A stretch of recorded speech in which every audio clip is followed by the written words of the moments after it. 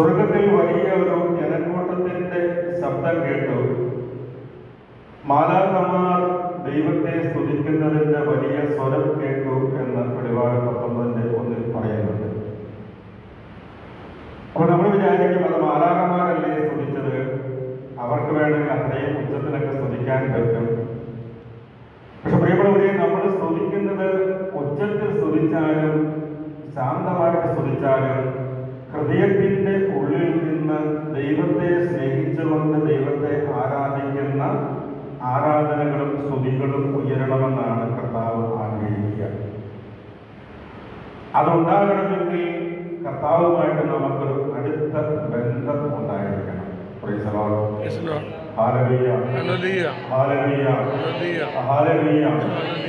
കർത്താവിന് നമ്മളോട് അടുത്ത ഒരു ബന്ധമുണ്ട്.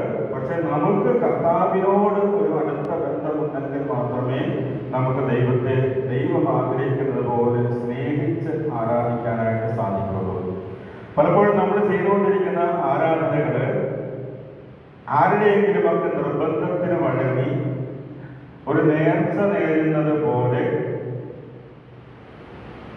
അങ്ങനെ ഉപേക്ഷിക്കാൻ പറ്റാത്തത് കൊണ്ട് ചെയ്യുന്നതാണെന്നുള്ള ഒരു ആരാധനയാണ് പലപ്പോഴും നമ്മൾ ദൈവത്തെ ആരാധിക്കുന്നത്.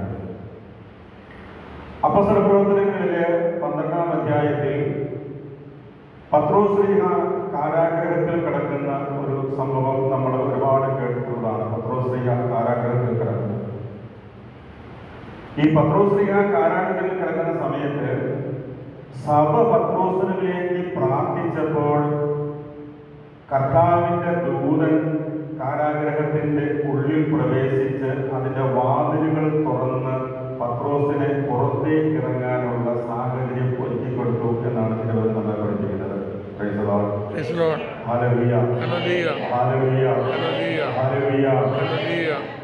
ലേഖനത്തിൽ നമ്മൾ വായിക്കുന്നത് വചനം വിരുദ്ധവാളിനേക്കാൾ മൂർച്ചയേറിയതാണെന്ന്.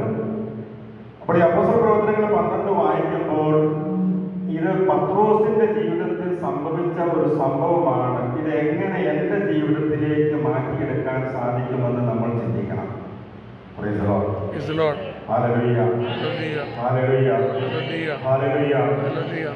പത്രോസിന്റെ ജീവിതത്തിൽ സംഭവിച്ച ഒരു കാരാഗ്രഹവാസം അവിടെ സഭ പത്രോസിന് വേണ്ടി പ്രാർത്ഥിച്ചപ്പോൾ കർത്താവിന്റെ ദൂതൻ കാരാഗ്രഹത്തിന്റെ ഉള്ളിൽ പ്രവേശിച്ച് വാതിലുകൾ തുറന്ന് ചെങ്ങലകൾ അഴിച്ച് പത്രോസിനെ പുറത്തു കൊണ്ടുവന്നതുപോലെ തന്നെ.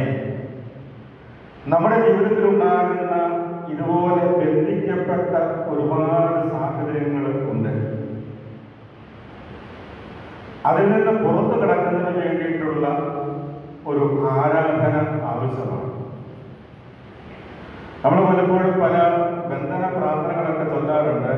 ആരെങ്കിലും ഒക്കെ പറഞ്ഞു തന്ന ബന്ധന പ്രാർത്ഥനയൊക്കെ ചൊല്ലും. എന്നിട്ട് ഇതൊരു മുപ്പത്തിമൂന്ന് പ്രാവശ്യം ചൊല്ലിയ നിങ്ങൾക്ക് ഇന്ന പ്രശ്നത്തിൽ നിന്ന് വിടുതൽ കിട്ടും എന്നൊക്കെ പറയും.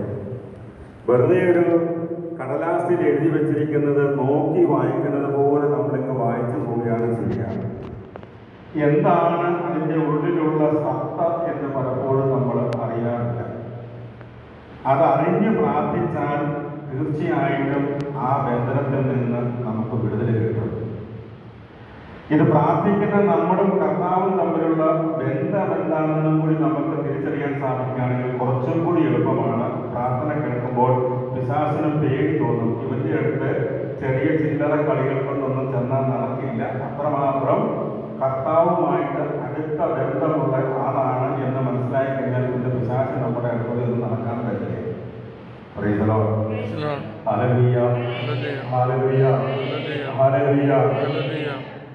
യഥാർത്ഥത്തിൽ ആത്മീയ ജീവിതം ഒരു വലിയ യുദ്ധമാണ്.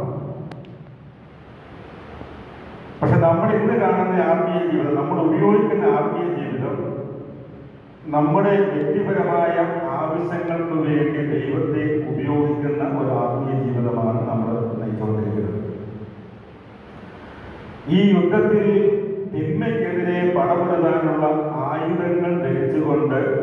വിശുദ്ധിയോടുകൂടി നിന്ന് നമ്മൾ പ്രാർത്ഥിക്കാൻ തുടങ്ങിക്കഴിഞ്ഞാൽ ഒരു പിശാശും നമ്മുടെ ജീവിതത്തിൽ ഇടപെടാനായിട്ട് കടന്നു വരികയില്ല.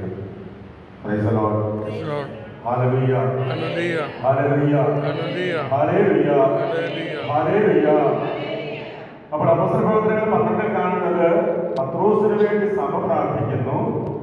പതിനാറാം അധ്യായത്തിലേക്ക് വരുമ്പോൾ പൗലോസിനും സീനാസും കാരാഗ്രഹത്തിൽ കിടക്കുന്നത് കാണാം. സഭ പ്രാർത്ഥിക്കുകയല്ല ചെയ്യുന്നത് മറിച്ച് അവർ അവർക്ക് വേണ്ടി തന്നെ ദൈവത്തെ ആരാധിച്ച് പ്രാർത്ഥിക്കുകയാണ് ചെയ്യുന്നത്. അപ്പോൾ സാഹചര്യങ്ങളൊക്കെ പ്രതികൂലമാണ്. അവർ ഒരിക്കലും വിശ്വ- വിശ്വ- വിശ്വസിച്ചിട്ടുണ്ടാവില്ല. ഞങ്ങൾ ഇങ്ങനെ കൈകൊട്ടി താളം പിടിച്ച് ഈ കാരാഗ്രഹത്തിൽ കിടന്ന് ദൈവത്തെ ആരാധിച്ചാൽ ഈ കാരാഗ്രഹത്തിന്റെ വാതിലുകൾ തുറന്ന് ഞങ്ങൾ മോചിതരാകുമെന്ന് വിശ്വാസത്തോട് കൂടിയിട്ടൊന്നും ആയിരിക്കില്ല. പത്രോസ് പൗലോസും സീലാസും ഒക്കെ ഇങ്ങനെ ചെയ്ത് പ്രാർത്ഥിച്ചുകൊണ്ടിരുന്നത് അവർക്കറിയാവുന്ന ഒരു പ്രാർത്ഥനയാണ് ദൈവത്തെ ആരാധിക്കുക സങ്കീർത്തനങ്ങൾ പാടി ആരാധിക്കുക എന്നുള്ളത്.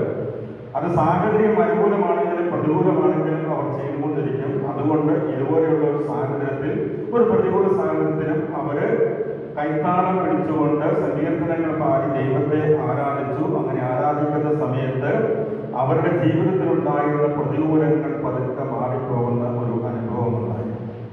Praise Hallelujah. Hallelujah. ഹല്ലേലൂയ അപ്പൊ നമ്മുടെ കർത്താവിനെ ആരാധിക്കുന്ന സമയത്ത് പാട്ട് പാടുന്ന സഹോദരൻ നല്ല ഉയർന്ന സ്വരത്തിൽ ദൈവത്തെ സ്തുതിച്ച് ആരാധിച്ച് പാടിക്കൊണ്ടിരിക്കുക പുള്ളിയുടെ ശബ്ദത്തിന്റെ പുറകെ നമ്മളിങ്ങനെ നോക്കുകഴിച്ചെങ്കിൽ നിന്നാ നിന്നാൽ മതി എന്നുള്ള ചിന്ത ശരിയല്ല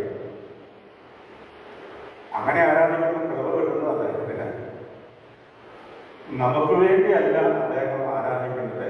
നമുക്ക് വേണ്ടി നമ്മൾ ആരാധിക്കണം ദൈവത്തെ. ഈ ക്രൈസ്തവ ആത്മീയതയ്ക്ക് ഒരു പ്രത്യേകതയുണ്ട്. ഈ എല്ലാ പ്രാർത്ഥനകളും സ്വയം ചെയ്യണം. നമ്മൾ സാധാരണ എന്തെങ്കിലും ആവശ്യം വരുമ്പോൾ ഇവിടെ പ്രാർത്ഥിച്ചേക്കണം ഇന്ന വിഷയമുണ്ട് കേട്ടോ എന്ന് പറഞ്ഞിട്ട് നമ്മുടെ പ്രാർത്ഥന വേറെ ഒരാളെ നമ്മൾ കൈ കണ്ടിരിക്കും ഈശോ എന്താ ആഗ്രഹിക്കുന്നത് ഓരോ വ്യക്തികളും അവരവരുടെ അകലം തുറന്ന് ദൈവത്തെ വിളിച്ച് അപേക്ഷിക്കണമെന്ന് കർത്താവ് ആഗ്രഹിക്കുക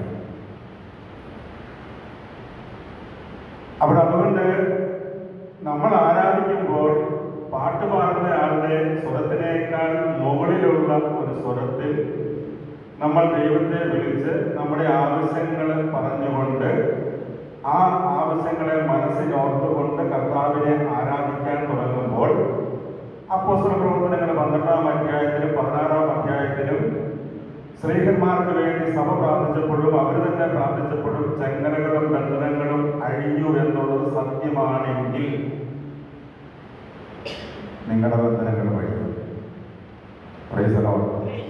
हालेलुया हालेलुया हालेलुया हालेलुया परमेश्वर सुंदर राजा जय हालेलुया हालेलुया हालेलुया